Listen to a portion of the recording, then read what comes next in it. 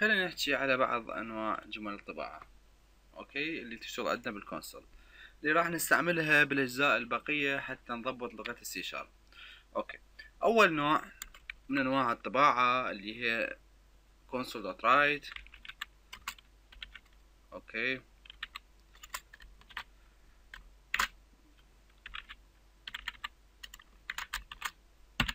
console.write نفتح قوس. double quotation لأن قاعد نطبع string ونكتب الكلمة مالتنا. okay؟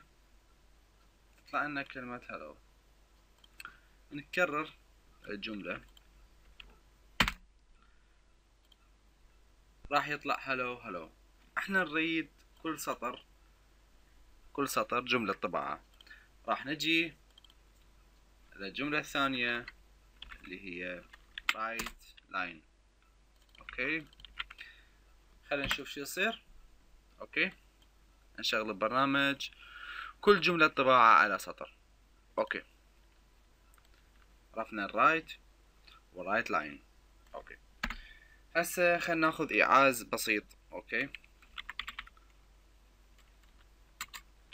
console.write okay. نكتب أول جملة. Hello. الجملة الثانية أريدها بالسطر الثاني. okay؟ بس بنفس الايعاز نكتب backslash n نكتب hello الثانية okay؟ ننفذ البرنامج ونشوف. okay. كل كلمة hello صارت على line ليش؟ يعني ال backslash n معناه new line okay. خلي نرجع وناخذ شي راح نحتاجه. اللي هو backslash t ننفذ ونشوف. ال backslash t هي المسافة اللي تشوفوها.